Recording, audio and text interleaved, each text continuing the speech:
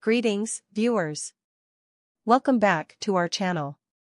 Today, I'm excited to guide you through the process of setting up your very own Shadowsocks server using HTTP Injector. By the end of this tutorial, you'll have a secure and efficient VPN connection right at your fingertips. So, without further ado, let's jump right in.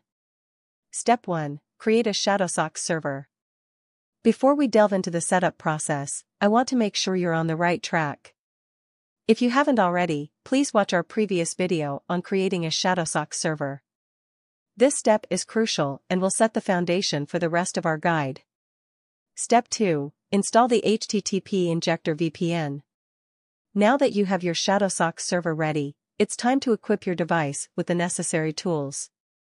Head over to your mobile app store, search for the HTTP Injector VPN app, and download it. Once the download is complete, go ahead and install the app on your device. Step 3. Launch the app. With the HTTP Injector app now installed, go ahead and launch it. You'll find yourself on the app's home screen, which marks the beginning of our setup journey. Section 1. Configuring Shadowsocks with HTTP obfuscation. Step 4. Accessing the required protocol. To get started with configuring your VPN, locate and tap on the arrowhead icon situated on the right-hand side of the app's interface. This action will grant you access to the protocol selection menu. Step 5. Choosing the HTTP obfuscation protocol. From the list of available tunnel type options, select Shadowsocks. Now, under the connection type, choose HTTP obfs. Don't forget to save your selections by clicking the appropriate button. Step 6. Accessing additional settings. At the top center of the screen, you'll spot a gear icon. Tap on this icon to access additional settings that will enhance your VPN setup. Step 7. Configure Shadowsocks server settings. Within the Additional Settings menu, you'll see a label for Shadowsocks. Click on the small clipboard icon associated with this label. A box will appear, eagerly waiting to receive the HTTP obfuscation configuration that you previously copied. Go ahead and paste the configuration into this box. Once you've done that, give the OK button a satisfying tap to preserve your settings and proceed on your VPN journey. Step 8. Edit host settings. With your server configuration now established, let's add a touch of personalization. Go back to the previous screen by clicking on the arrow icon.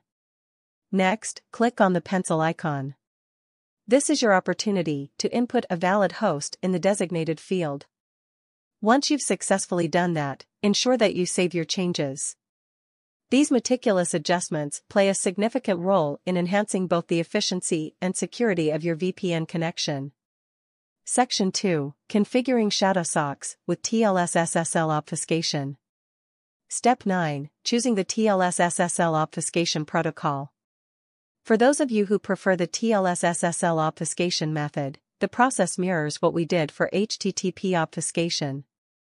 Select TLS as your connection method, and then paste the TLS obfuscation configuration into the appropriate field within the Shadowsocks server settings.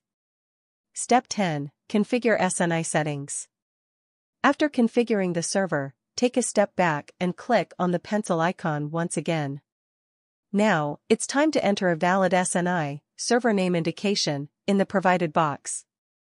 Once you've done that, don't forget to save your changes. Step 11. Connecting the VPN. Irrespective of the obfuscation method you've chosen, it's time to take the plunge.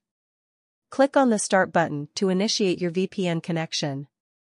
Conclusion and there you have it, my tech-savvy friends. You've masterfully set up a Shadowsocks server on HTTP Injector using both the HTTP and TLS SSL obfuscation methods. Your secure and private online journey is now at your fingertips. If you found this tutorial helpful, don't hesitate to show your appreciation by hitting the like button and sharing it with fellow enthusiasts. Until next time, stay connected and stay secure.